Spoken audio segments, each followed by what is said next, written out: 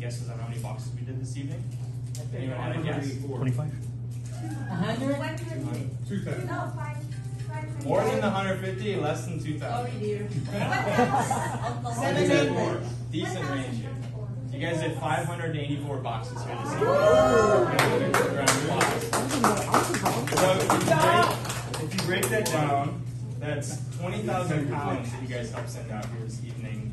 And then you do that, that's about 1,700 meals as well. So really in just that short time, you guys do make a difference into the community.